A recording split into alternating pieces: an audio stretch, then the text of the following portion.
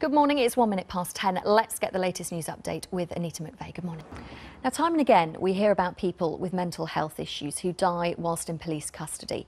And more often than not, the investigations into their deaths find that mistakes were made in how they were treated and that their deaths were avoidable. Now, the body responsible for those investigations is calling for change. The police watchdog, the IPCC, has focused its recommendations on the case of one man, James Herbert. He died in police custody when he was 25. Using his experience, they've identified common mistakes which they want police to learn from so that some of these deaths can be prevented.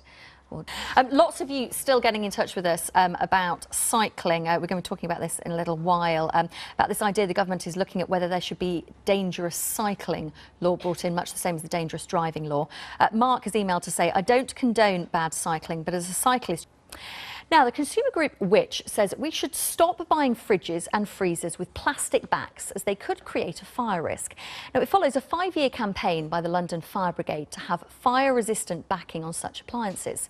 Today's warning is likely to be taken seriously because, of course, the Grenfell Tower fire, which was started by a Hotpoint fridge freezer, even though it's not been confirmed whether that had a plastic back or not. Well, joining us now. So, do we need new laws to tackle irresponsible cyclists? With me now is Duncan Dollimore. He's the Stream Live is up next. Have a great day.